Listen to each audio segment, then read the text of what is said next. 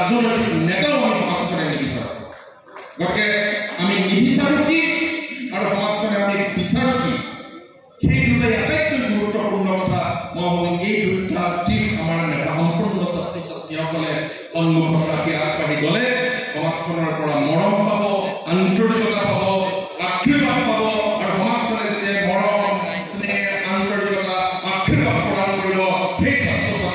ছোৱালীয়ে মই ভাবোঁ জীৱনৰ শিক্ষক দিশলৈকে আগবাঢ়ি যাব পাৰিব আকাশ চুব পাৰিব এইখিনি কথা কৈয়ে মই চোন যিহেতু হঠাৎ এই কথাখিনি ক'বলৈ দিলে মই এই কথা কথাই কৈ আমাৰ ছাত্ৰ ছাত্ৰীসকলক পুনৰবাৰ অভিনন্দন জনাইছোঁ কৃতজ্ঞতা জনাইছোঁ আৰু তেওঁলোকে তেওঁলোকৰ জীৱনত সাফল্যতা লাভ কৰক তেওঁলোক সফল হওক নেতাজনৰ ওচৰত প্ৰাৰ্থনা জনাইছোঁ ধন্যবাদ জয় অসম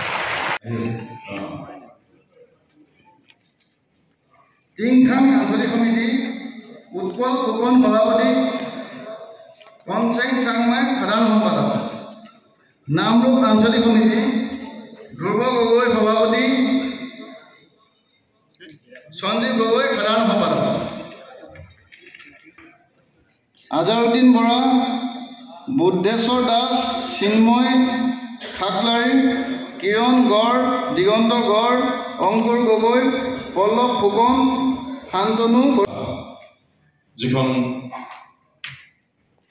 কেন্দ্ৰীয় নিৰ্বাচনী অধিৱেশন গুৱাহাটীৰ শিল্পগ্ৰামত হৈছিল তাত কিছু সংশোধন কৰি কোৱা হৈছিল যে অসম জাতীয়তাবাদী যুৱ ছাত্ৰ পৰিষদৰ কেন্দ্ৰীয় যিখন মধ্যকালীন প্ৰতিনিধি সভা হ'ব কেন্দ্ৰীয় অভিৱৰ্তন হিচাপে নামাকৰণ কৰা হ'ব।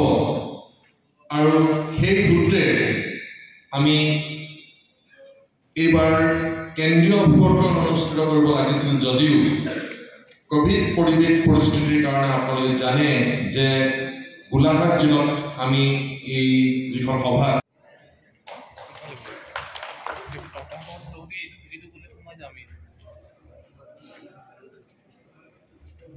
এখন শৰাই এখন গামোচা এখন চেলেং এটা চুমাৰক এটা ফাইল আৰু এখন গ্ৰন্থৰে সাধাৰণ সম্পাদক ডাঙৰীয়া জনাইছে শইকীয়া এই জিলা সমিতিৰ পৰা কেন্দ্ৰীয় সমিতিত প্ৰ- প্ৰতিনিধিত্ব কৰা শিৱ কলিতা সুৰজ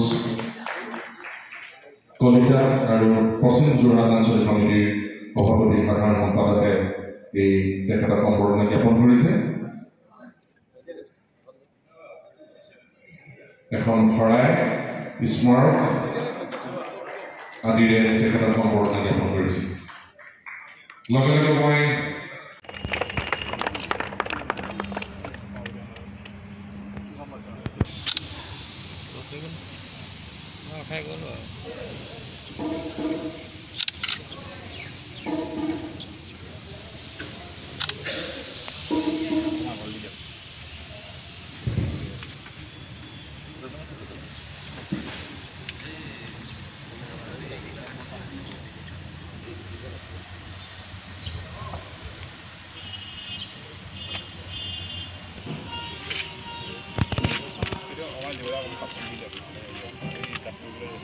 নহয় এইটো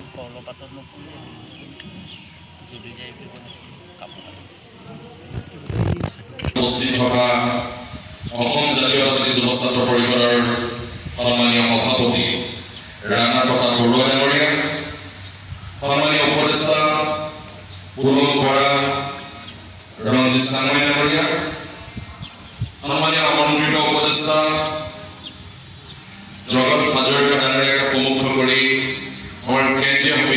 সভাপতি শাখাৰ সম্পাদককে প্ৰমুখ কৰি যোৰহাট জিলা সমিতিৰ সন্মানীয় বিষয়ববীয়াসকল পূব খণ্ডৰ জিলা আঞ্চলিক শাখা সমিতি। সেই পশ্চিম যোৰহাট আঞ্চলিক সমিতিৰ সভাপতি সাধাৰণ সম্পাদকৰ লগতে সন্মানীয় বিষয়ববীয়াসকল। অসম জাতীয়তাবাদী যুৱ ছাত্ৰ পৰিষদৰ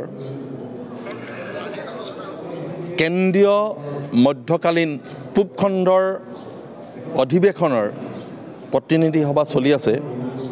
এই প্ৰতিনিধি সভাত প্ৰধানকৈ আমাৰ সংগঠনটোৰ জিলাৰ সভাপতি সাধাৰণ সম্পাদক আঞ্চলিকৰ সভাপতি সাধাৰণ সম্পাদক আৰু শাখা সমিতিৰ সভাপতি সাধাৰণ সম্পাদকে অংশগ্ৰহণ কৰি সংগঠনৰ সাংগঠনিক দিশটোৰ লগতে সাম্প্ৰতিক পৰিস্থিতিৰ ওপৰত বক্তব্য ৰাখি ভৱিষ্যতে কেনেধৰণে সংগঠনটো আগবঢ়াই লৈ যাব পৰা যাব সেই সম্পৰ্কত আলোচনা কৰা হৈছে। এতিয়া কথা হ'ল যে আমি অসম জাতীয়তাবাদী যুৱ ছাত্ৰ পৰিষদে কিয় এনেধৰণে সভা সমিতি পাতি আমি আমাৰ সাংগঠনিক দিশটো টনকিয়াল কৰিব খুজিছোঁ? এইকাৰণেই সং- টনকিয়াল কৰিব খুজিছোঁ যে আমি যোৱা চল্লিছ বছৰে বিচাৰি আছোঁ যে অসমত পূৰ্ণ স্বায়ত্ব শাসন প্ৰৱৰ্তন কৰিব লাগে আন্তঃৰাজ্যিক পাৰপত্ৰ প্ৰৱৰ্তন কৰিব লাগে বা দ্বি নাগৰিকত্বৰ ব্যৱস্থা প্ৰৱৰ্তন কৰিব লাগে। এই যে আমি কৈ আছোঁ আন্তঃৰাজ্যিক পাৰপত্ৰ প্ৰৱৰ্তন কৰিব লাগে এই যিটো বিষয় অসমত হয়তো বহু দলৈকে ইয়াৰ আলোচনা হোৱা নাই। কিন্তু দুহেজাৰ ঊনৈছ চনৰ এঘাৰ ডিচেম্বৰ তাৰিখে যেতিয়া কেন্দ্ৰীয় গৃহমন্ত্ৰী অমিত শ্বাহ ডাঙৰীয়াই এটা বিবৃতি প্ৰদান কৰিছিল যে উত্তৰ পূৰ্বাঞ্চলৰ যিবিলাক ৰাজ্যত ইনাৰ লেণ্ড পাৰ্মিট আন্তঃৰাজ্যিক পাৰপত্ৰৰ ব্যৱস্থা প্ৰৱৰ্তিত হৈ আছে সেই ৰাজ্যবিলাকত কা প্ৰযোজ্য নহয়। সেইদিনাই মানুহে উপলব্ধি কৰিছিল যে অসম জাতীয়তাবাদী যুৱ ছাত্ৰ পৰিষদে বিচাৰি থকা আন্তঃৰাজ্যিক পাৰপত্ৰ প্ৰকৃতপক্ষেই অসমত এটা প্ৰাসংগিক সাংবিধানিক এটা বিষয়। এইকাৰণে আমি কৈছোঁ যে অসমলৈকে অহনিশে মান বিদেশীৰ প্ৰব্ৰজন হৈছে স্বদেশীৰো আগ্ৰাসন হৈছে।